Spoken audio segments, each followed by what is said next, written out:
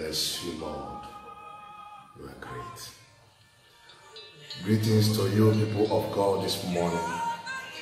May the Lord bless and keep you because of His mercies. Today, by the grace of God, my name is Aniagu Martin Uchenna, a priest in training. This is the hour of balm of Gilead and the hour of worship. By the grace of God, we are going to speak on the topic that says moving the hand of God through prayers. When we talk about moving the hand of God, what does that mean? People of God, to move the hand of God in this context has to do with moving the hand of God through prayer, through prayer, through fasting, through righteousness. A Bible says righteousness exalts a nation, but sin is a reproach. Sin can cut short the hand of God. Let me tell you, when you talk about moving the hand of God through prayer, it means that there is power in prayer as it is written in the book of First Thessalonians chapter 5 verse 17 which says pray without ceasing. Praying without ceasing means to be consistent in prayer.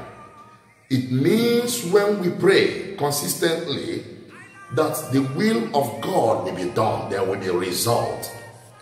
And let us go to the book of Luke, chapter 18, verses 4 and 5, which says, And he would not fear a while, but after he said within himself, Though I fear not God, nor regard man, yet because this widow troubleth me, I will avenge her, lest by her continually coming, she weary me.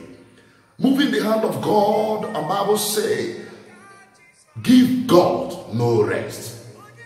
When you pray, you are making God to do his work.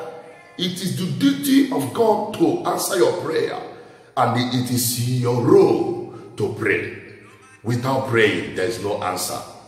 So for you to get what you need, even in this time, critical time, in our nation, Nigeria, we are facing a lot of challenges. You need to pray.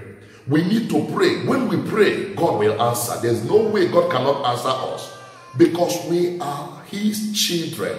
I don't know what you're passing through in your family, the challenges you are passing through academically, in your business as a businessman. I am talking to you as a servant of the Lord. If only you can pray, you can move the hand of the Lord. You can move the hand of the Lord. You can have a result. And finally, before I pray, we can now move the hand of the Lord through fasting and prayer.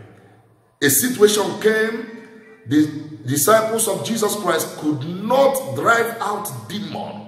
And when that matter came to Jesus, the master, as a master, he said to them, after he might have done the miracle, you ought to pray and fast for this kind of situation, this kind of demon, this kind of family challenges, this kind of uh, uh, situation cannot go unless you fast, unless you pray.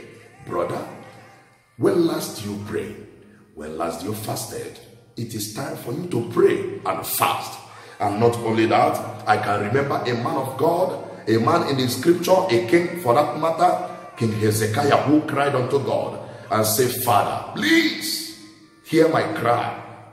Hear my cry. And God answered him by sending back a prophet who told him, The Lord has answered your prayer. I am adding 15 more years to your years. Let me tell you, when you pray, there will be additional blessings from God. May the Lord bless and keep you and bless you through Christ our Lord. Amen. God, I bless and glorify your name. May you see us through as we pray. In Jesus' name, amen. God bless you. God bless you.